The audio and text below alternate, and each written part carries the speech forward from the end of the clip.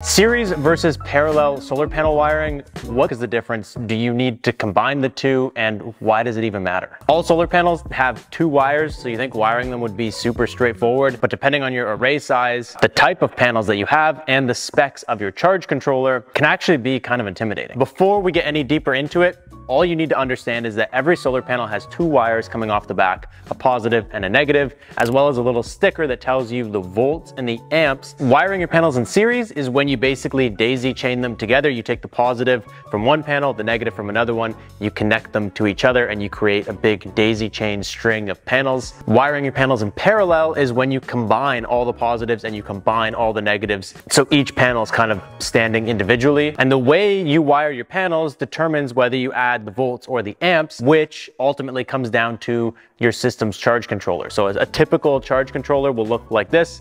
Mind you, most of them nowadays are built directly into an inverter or into a power station, but regardless, your charge controller is gonna have a voltage and an amperage rating. And the whole purpose of wiring in series or parallel or both of them combined is to make your system fit the, the requirements of your charge controller. So first up, we're talking series. Series is like the go-to way to wire a solar array. It's like the simplest, cheapest. It's what, if I'm gonna set up a small array, this is what I do and then I'm done. In today's example, we're looking at a real life array that we actually just assembled a week ago, which is six 200 watt solar panels. For the sake of easy math, we put each solar panel at 25 volts and 10 amps. In reality, they're like 9.8 amps and 23 volts. When you wire stuff in series, like I already said, you daisy chain the positives and the negatives together, and you basically complete the loop into your inverter, charge controller, whatever, with the open ends on each end of the array. The most important thing when you're wiring something in series to remember is that when you do it this way,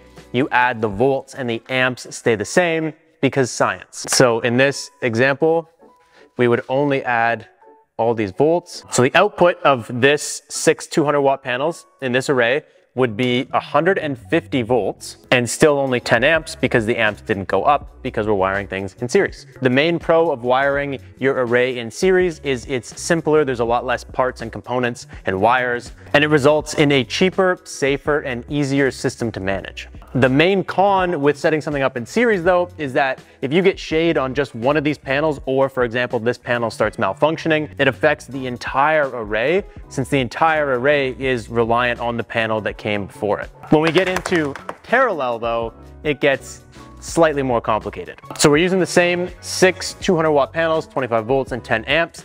But as you guys can see, all the positives come down and combine right here and all the negatives come down and combine right here. So if you were to add all this up for this array, you would actually only add the amps and the volts stay the same. You actually have a total of 25 volts for this array, but you would have 60 amps because in parallel, when all the wires come down here, all these wires are carrying 10 amps, they all combined, you now have 60 amps. And the volts don't combine because science. In order to combine all of this together, you're gonna need a lot more wire to get from your panels over to here.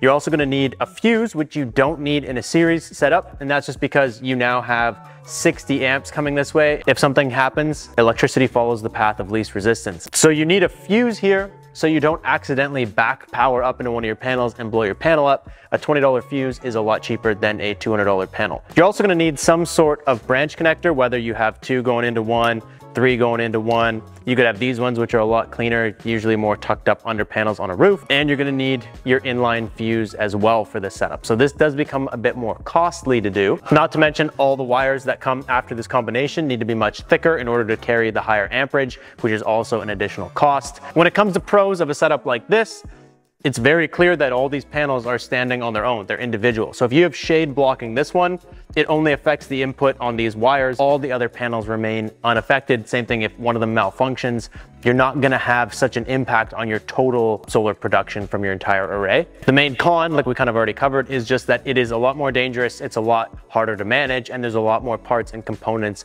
required, thicker wires, branch connectors, fuses, that kind of stuff just to get this done. If we were to take a look at a real life example, this little Rich Solar 3K inverter has a built-in charge controller with a limit of 80 amps and 60 to 115 volts. So we know we're never gonna hit the amperage limit because both our examples, the max amperage we got to was 60 amps. But when you wire in series, you actually have too much volts to get into this. You're at 150, this is 115 limit. And when you wire in parallel, you're only at 25 volts and this has a 60 volt minimum before it'll actually recognize the input. But we know that this thing can accept the 1200 watts. It's actually rated to accept up to 4500 watts. And so to do that, we're gonna need a combination of both series and parallel wiring. When it comes to actually trying to wire this into that rich solar inverter, there's actually only one way that we can get this array to work with that inverter. So the only way this is possible is if you break the connection right here in the middle, turn this into a little branch connector. Same with this guy. And then you basically turn this into its own individual string like this, and you turn this into its own individual string. Now you have two strings, two different input strings of three panels. So now you would break that in half, you add 25 plus 25 plus 25. The maximum voltage that you're gonna have with this setup is gonna be 75. And then because you have two strings of 10 amps coming in, the amps actually just double and you end up with 20 amps. That is the only way that you can actually wire this set of six panels into that example rich solar inverter. Obviously now you're gonna need two fuses right here and you're gonna need some branch connectors. And the pro is that if you had these on a roof or whatever, if one of these gets covered with shade, these three are now unaffected. There's a lot more customization and problem avoidance that you can do if you wire a series parallel connection like this. The other pro is if you understand this math, Sometimes you can actually save some money when you're buying a charge controller because you're able to look at your array and see what numbers you can make work, get them down as small as possible, and then buy a smaller charge controller than maybe you initially thought, which could save you a couple hundred bucks up front. And the con with doing it this way is it does require a couple extra components. It can be a little bit more confusing, but I don't think that that really matters because this is the way to do it. So hopefully that helped you guys. Hopefully you now understand the difference between series and parallel